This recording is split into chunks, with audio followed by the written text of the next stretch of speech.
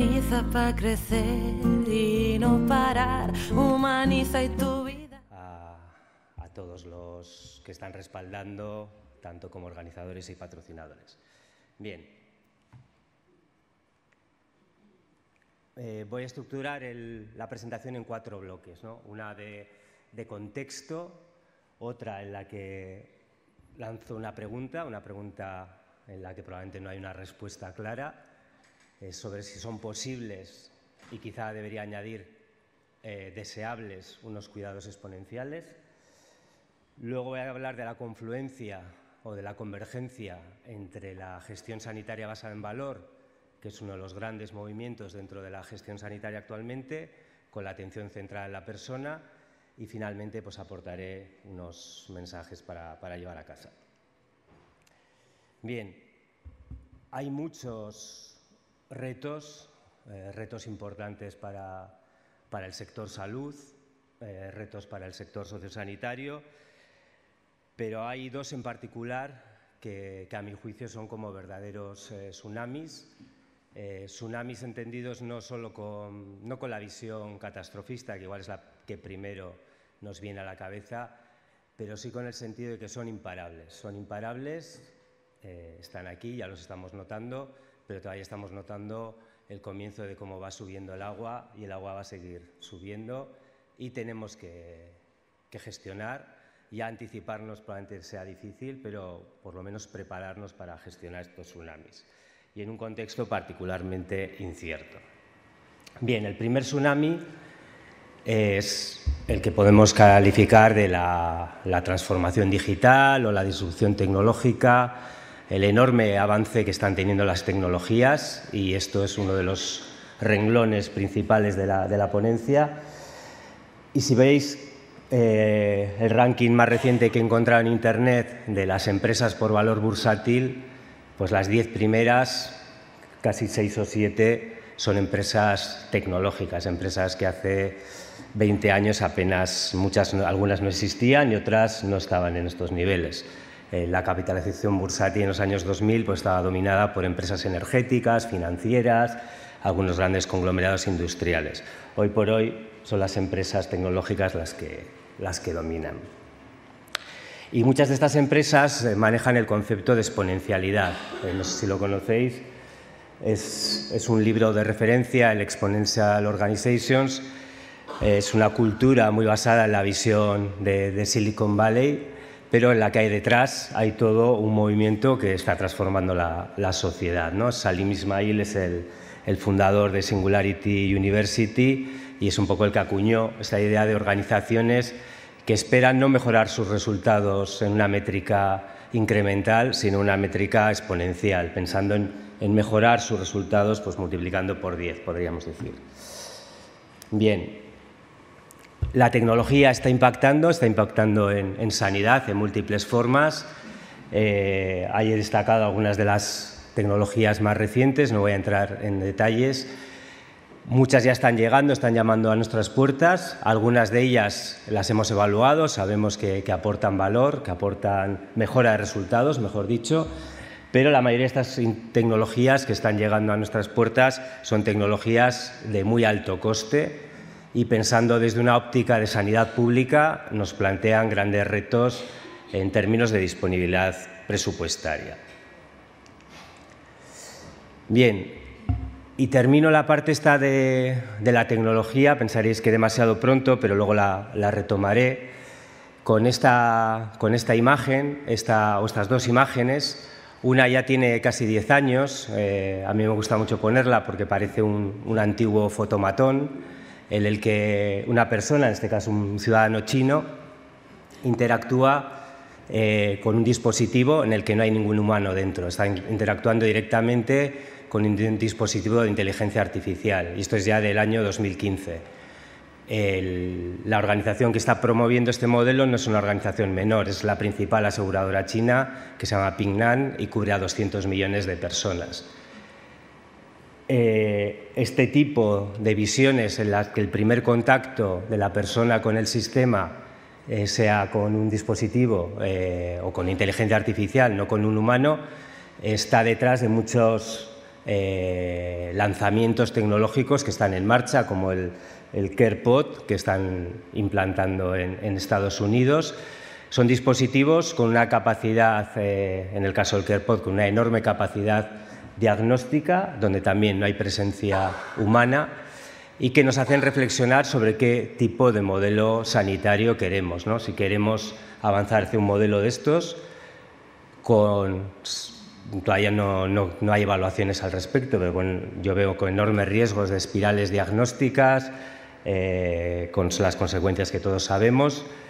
¿A dónde nos puede llevar? Yo creo que un poco el mensaje aquí es si no lideramos el, cambio tecnológico desde dentro, va a venir desde fuera. Y todas esas empresas que, señalaba al principio tienen enormes intereses en el sector de la salud. Todas están invirtiendo eh, una gran cantidad de dinero. Por ejemplo, la última ronda de financiación de este dispositivo, que ya se está implantando en supermercados de Estados Unidos, es de mil millones de dólares.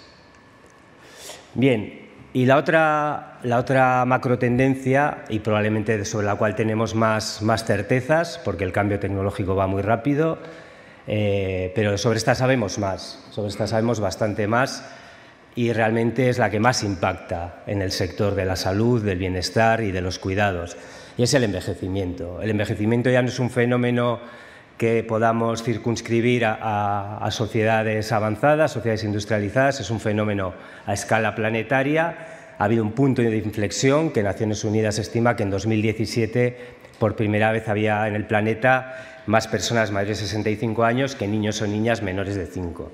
Por tanto, este es un cambio global y donde España, afortunadamente, y digo afortunadamente porque al final esto es un logro como sociedad, eh, está siempre arriba en los rankings en esperanza de vida. Incluso este mismo informe de Naciones Unidas estimaba que en 2040 íbamos a ser el país con mayor esperanza de vida del planeta.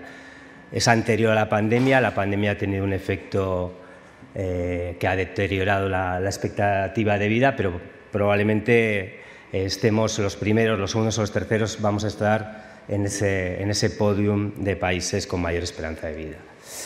Bien, y todo esto sin tener en cuenta las visiones eh, transhumanistas, las visiones exponencialistas que hablábamos, como por ejemplo la de Aubrey de Grey, no sé si la habéis visto alguna vez, eh, es un gerontólogo biomédico eh, inglés y es de estas visiones transhumanistas en las que él están trabajando eh, él ha hecho, de hecho, una afirmación eh, tan, tan, rupturista como que la persona, en este caso le ha dicho la mujer, que va a vivir mil años ya ha nacido. ¿no?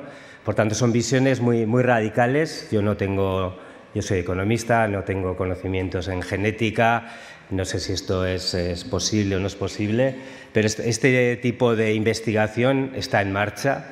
Y si, si vamos a algo mucho más eh, cercano, eh, podemos ver prolongaciones también eh, muy grandes de la esperanza de vida en nuestro medio.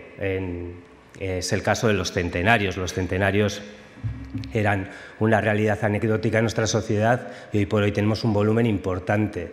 Justo el puente pasado he estado en, Orense y he estado en la zona donde hay más centenarios hay ahora mismo en Europa. Aunque no salimos en el libro de, de zonas azules que se mencionaba eh, que se mencionaba recientemente, pero realmente estamos en, el núcleo duro del envejecimiento global. Por tanto, estas realidades de 100, 120 que se está estimando ahora que es el techo de supervivencia, las vamos a ver cada vez más. Y esto plantea enormes retos para un estado del bienestar, ¿no? un estado del bienestar en el que personas van a vivir bastante más tiempo fuera del entorno laboral, fuera de la cotización o de la aportación directa, diríamos, laboral, y hay que darles, hay que garantizarles pues, cuidados y derechos.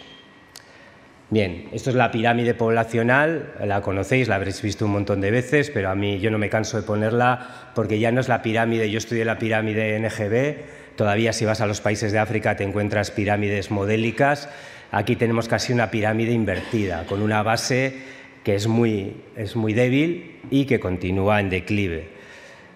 Habrá otras dinámicas, dinámicas de movimientos poblacionales que nos podrán cambiar este, esta, foto.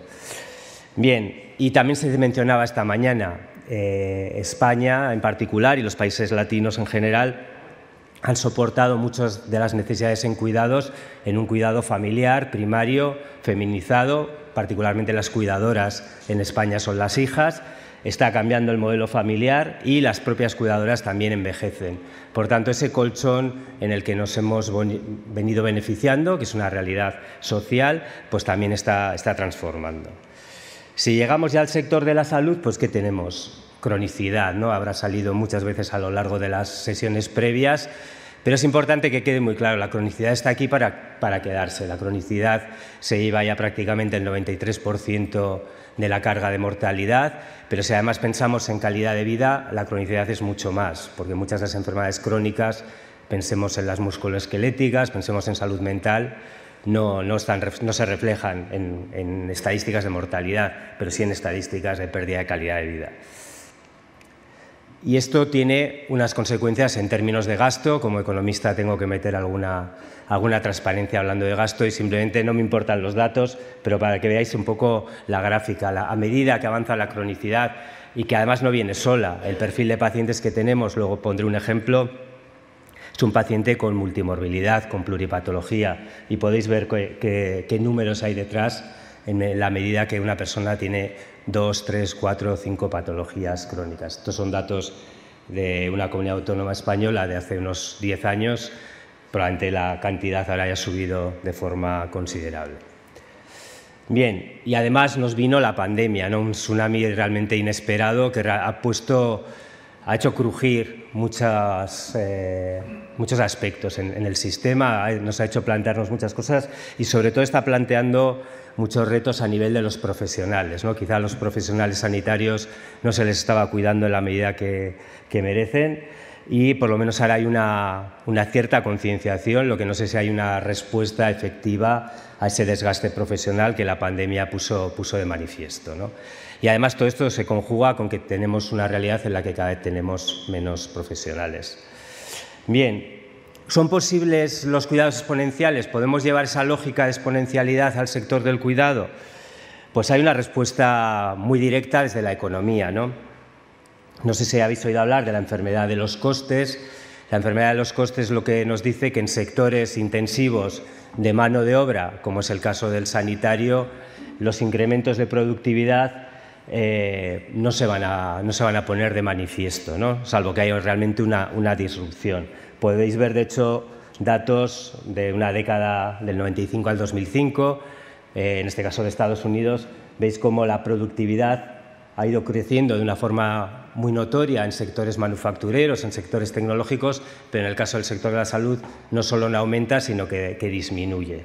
Por tanto, ¿cómo vamos a poder dar respuesta a una, una espiral o a un iceberg de demanda eh, de las personas en un contexto en que la productividad decae. ¿no? Por tanto, aparentemente esa respuesta de la exponencialidad es, imposible con, el modelo que tenemos actualmente. Frente a esto, pues vienen estas visiones que provienen de este, de este mundo tecnológico que nos prometen que el futuro va a ser este futuro, un futuro en donde casi no se ve interacción humana, donde va a haber todo eh, cubículos monitorizados, sensorizados, donde con inteligencia artificial y robótica se van a eh, prestar cuidados. Lógicamente, en unas jornadas de humanización nos preguntamos a dónde nos, lleva esto desde una perspectiva humana. Aparte de que estos modelos, pues bueno, todavía habrá que, testar realmente su, factibilidad. Bien, y sobre todo si pensamos quién es el perfil de pacientes que tenemos, esto lo cojo directamente de Jordi Amblas, que es un geriatra catalán, es el director actualmente de la Estrategia de Atención Integrada de Cataluña, y me gusta cómo refleja eh, lo que son las necesidades de la persona, ¿no? la perspectiva humana, poniendo un, un ejemplo, aunque sea un ejemplo ficcionado, y, de tener esa visión de esa pluralidad de necesidades de índole sanitario y de índole social, que es realmente lo que le preocupa a la persona. A la persona no le preocupan tanto las etiquetas sobre quién le tiene que atender, sino que tiene una visión de un conjunto de necesidades. ¿no? ¿Pensáis que esas máquinas o esos artefactos, esos módulos que se veíamos antes, son la respuesta a este perfil de pacientes, que realmente es lo que estamos viendo en nuestro día a día. Yo, por ejemplo, dirijo un hospital de media estancia en, San Sebastián, en el País Vasco. El perfil de nuestros pacientes tiene 85 años, tiene pluripatología, muchos de ellos tienen importante deterioro cognitivo, otros están en final de vida. ¿Pensáis que esos enfoques eh, que hemos visto son una solución? Eh, no lo sé, lo dejo para el debate. Sin embargo, tenemos soluciones más, más convencionales, más clásicas, que sí nos permiten pensar en una lógica de, exponencialidad. Y es un poco lo que yo os quiero aportar en, la sesión. Probablemente la exponencialidad la estamos enfocando mal, no es cosa de inteligencia artificial y de robótica, sino es lógica de aprovechar los recursos del sistema. Y los recursos del sistema es poner el foco, esto es el Chroniker Model del año 97 de Ed Wagner, que lo habréis visto hasta la saciedad en congresos de crónicos, pero es que sigue plenamente vigente. Y, lo que hay detrás eh, nos aporta claves relevantes en las que tenemos mucho que trabajar todavía. Lo, entronco con la noción de, atención centrada en el paciente. Esa visión de atención centrada en el paciente pues, es una noción muy, muy potente como palanca de transformación del sistema porque al final eh, la persona, el empoderamiento de la persona, el dotar de capacidades de gestión de la enfermedad de la persona, el potenciar el autocuidado que dice el Chroniker Model, ahí sí que tenemos una, capacidad de mejora exponencial. Pasamos de tener 10 horas de cuidados profesionales al año a eh, la vivencia del resto de las horas por parte de la persona. El incorporar un rol activo en el paciente crónico con responsabilidad, eh, con autonomía, con capacidad eh, de respuesta, con empoderamiento, nos abre una perspectiva de exponencialidad. Todo esto ya lo, yo creo que está, es conocido, ya lo pusimos eh, de manifiesto pues ya desde el año 2008. Tuve la oportunidad de, coeditar junto a, Rafa Bengoa el curar y cuidar, donde ya poníamos de manifiesto que este era una vía de avance, una vía enorme de avance, la aplicación del Chroniker Model en nuestro contexto. Sin embargo, cuando ves un poco el impacto de las estrategias de, crónicas, de crónicos, pues se ve que muchas han quedado un poco anquilosadas, han quedado en las estanterías, eh, no se han evaluado y hay realmente un enorme potencial de seguir avanzando en la mejora, incluso una mejora exponencial aplicando estos, estos enfoques. Bien, y ahora como ya no está tan de moda los, los crónicos, pues ha llegado otra moda al mundo de la gestión sanitaria y se llama la la gestión sanitaria basada en valor o la atención sanitaria basada en valor, como la acuñó Porter en su momento, y que además eh, se está estructurando, se está enmarcando, está convergiendo de una forma bastante interesante con un movimiento que es el de, Patient Revolution, que está liderando Víctor Montori desde la Clínica Mayo, y que aparentemente pueden ser que dicotómicos, ¿no? parece que son dos enfoques muy distintos, uno muy tecnocrático, otro muy humanista, pero que yo trataré de mostrar que realmente hay un potencial enorme de convergencia entre los mismos. Y surge el, concepto de valor. Valor en salud es algo que los economistas llevamos manejando mucho tiempo, al final es una noción de eficiencia, una relación entre resultados en salud y costes, y que ha sido alguien como Porter, Michael Porter, desde su cátedra de Harvard, uno de los él es ingeniero aeronáutico, es economista, es una de las personas más influyentes en el mundo de la gestión, pues, que lleva predicando este, este, tema de la atención sanitaria basada en valor pues, desde 2006. ¿no? Desde el momento en que puso el foco en algo muy importante, dejar de medir lo que hacemos en el sistema sanitario por actividad. Tenemos que medir lo que hacemos en el sistema sanitario por resultados, por lo que él llama valor, resultados en relación a consumo de recursos. Y esto, aunque es algo conocido, pues, pues eh, estamos en pleno en mantillas. ¿no? Porter dice muchas más cosas y estoy viendo, solo tengo cinco minutos, eh, pero es interesante si tenéis oportunidad de profundizar.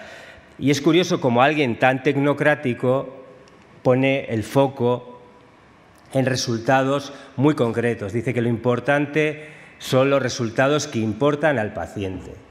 Entonces, si alguien con una visión, diríamos eso, tecnocrática o muy científico-técnica, dice que lo importante en el sistema es medir los resultados que importan al paciente, eh, yo creo que ya es el momento de empezar a hacerlo de forma sistemática, rutinaria y aplicada de una forma generalizada, cosa que no estamos haciendo. Eh, seguimos midiendo y seguimos financiando por métricas de actividad que son totalmente métricas vacías, números de consultas, eh, números de intervenciones, sin ver realmente el resultado que importa para el paciente que hay detrás.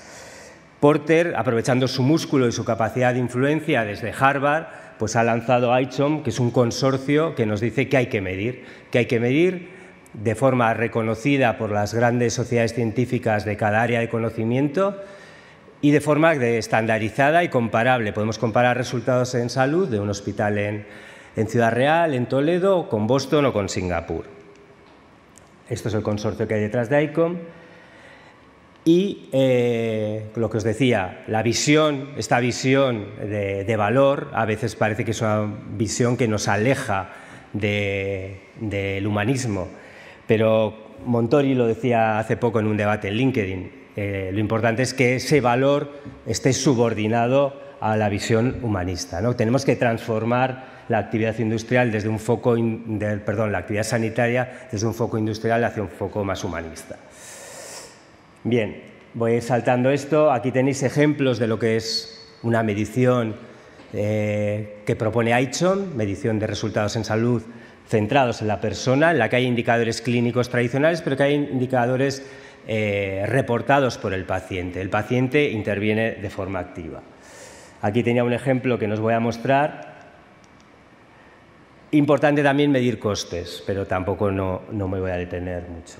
Bien, eh, esta convergencia que estoy diciendo no es algo eh, que se me ha ocurrido antes de dar la charla, sino es algo que ya llevamos trabajando. Yo eh, publiqué en 2019 un editorial en, en la revista el International Journal of Integrated Care, en la que decía que era necesario avanzar hacia una atención sanitaria eh, integrada y basada en valor para individuos y poblaciones. Porque Porter dice cosas muy interesantes. Yo creo que, que Porter haya metido en el numerador de valor lo que importa al paciente es algo, es un cambio de paradigma total, pero también se deja cosas importantes. Porter no habla del valor del cuidado, Porter no habla eh, de la experiencia del paciente, Porter tiene un foco muy individual y no poblacional, eh, Porter, por ejemplo, tampoco tiene una respuesta a las situaciones pluripatológicas, tiene un foco muy por enfermedad por enfermedad. Por tanto, hay una serie de elementos